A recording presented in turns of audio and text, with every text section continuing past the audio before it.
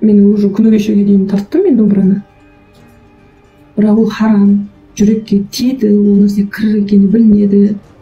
Харам. Ассалаумағалейкум қапқан жерін қанататын қасқыр мінез қазағым. Бүгін эфирге шұғыл шығып отырмын. Мұндағы мақсат қазақ деп соққан жүрегі бар мәжілістегі жалғыз ғана қайталап айтамын. Жалғыз ғана депутатымыз ринат заитовқа жақ болу. Себебі кешеден бері ринатқа ақпараттық шабуылмен қоса сес көрсетіп жатқандар да аз емес. Айтыскер ақынның намаз оқитындардың 80 пайызы алаяқ деген сөзі біраз намазханның намысына тиіпті. Солардың қатарында заитовты жаңа қазақстанның вип батыры деген балғынбек имашев та бар. Аманатқа қарсы кезінде де партияға жаршы кезінде де қолдадық. Өз басым осы уақытқа дейін артық ауыз айтқандарыңа жала жапқандарыңа бұрыс пікірлеріңе үндемедім. Бірақ бүгінгі шулатып отырған сөзіңе арнайы үн қатпасам болмады. Сенің маған ақпараттық шабуыл жасалып жатыр деген жазбаңды оқып бауырымды қорғай қояйыншы деп әлеуметтік желіні ашып қарасам алаяқтықтың сексен пайызын жасап отырғандар намазхандар қауымы. Өтірік болса бетім айтсын деп айды аспанға шығарыпсың. Құдай ау бұл не деген статистика? Қандай арифметика? Мұндай сандарды қайдан алдың? Бұл саған базарға барып шемішке майының бағасын біле салатындай дүние емес қой өтірік пайызға шағып халықтың миын қатырғанды қою керек постында барша мұсылманға жаланың жапасын жағып артынан мыналар маған тиісіп жабылғалы жатыр деп байбалам салғаның қалай болды? Осы ер адамның ісі ме сонда саған аузыңа келгенді айтып ойыңа келген жаланы жабуға болады саған қарсы жауап беруге болмай ма? Абай атамыздың сен сияқты эмоциясына берілген адамдарды лап бергіш қайталанғыш көтайланғыш деп сипаттағанын білесің қорықпаймын деп жазған постыңның астында елдің артына тығылып отырған қорқақ қоян көріп отырмын. Сен намазхандардан қорықпа.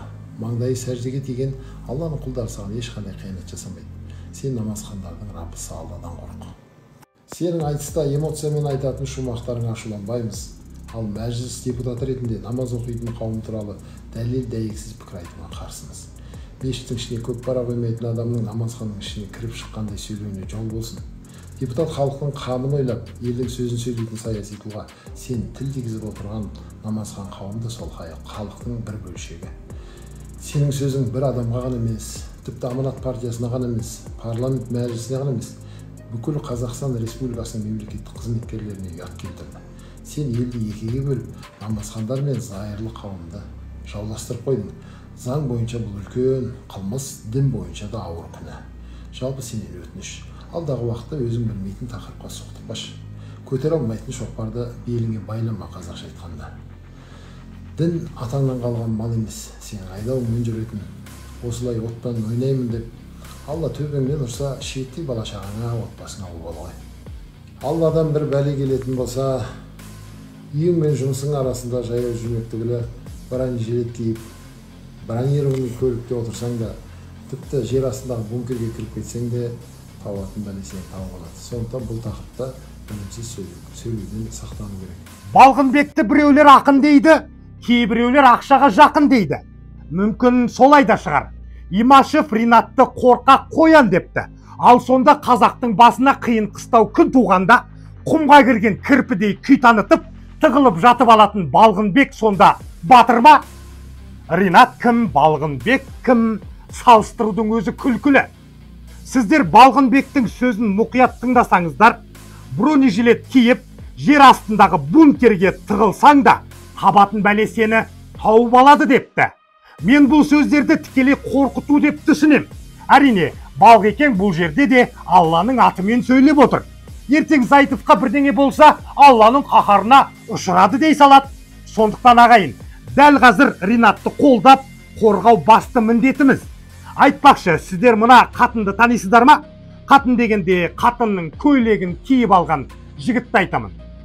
Келінка сабинка ше на самом деле я до сих пор живу в этом дурацком ауле жигиры я до сих пор не уехала из казахстана иә келінка сабинка шын есімі нұртас адамбай ринаттың депутаттықтан кетуін талап етіпті адам өзінің басындағы боқты көрмей біреудің сідігін сынапты деген осы шығар бұған не жоқ десейші В данном видео я бы хотел обратиться к депутату парламента Республики Казахстан по фамилии Заитов. Депутат Заитов, прошу вас, как гражданин нашей страны, а, предоставить доказательства своим словам, которые вы произнесли в одном из интервью, о том, что якобы 80% мошеннических действий в нашей стране совершаются людьми, которые совершают намаз. Прошу вас предоставить доказательства этим словам. В противном случае лично я буду считать вас просто болтуном.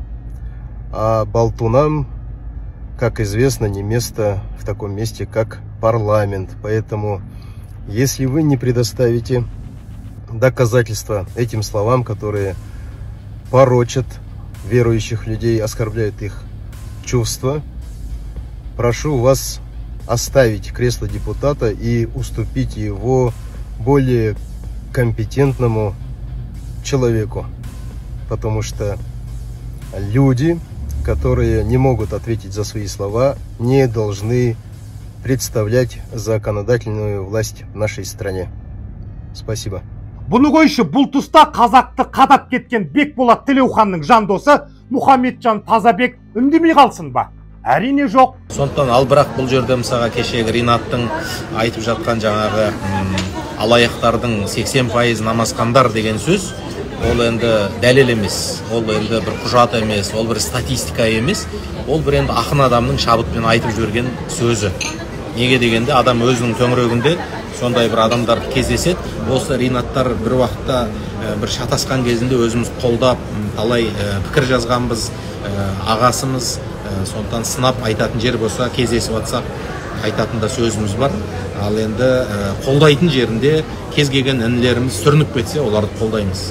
Ал енді ә, сүрінбей шатасып біреудің қақсына кіріп жатса оны да мысалға ә, шамамыз жеткенінше ә, айтамыз. Сіз парламентте отырғаннан кейін халық сайлаған партия арқылы кірген елдің сенім артқан депутаты болғаннан кейін әрбір сөзді әрбір цифрды ә, байқап айту керек. Ә, түбі жақсылыққа апармайды. Ол мұсылмандар оған ешнәрсе жасамайды. Бірақ мұсылмандардың қолдаушы құдайы бар. Сол алла тағала қолға алмасын ринатқа жауап қатып өздерінше ақыл айтып шет шетінен бас көтеріп жатыр әйтеуір. Ал енді сіздерге сұрақ.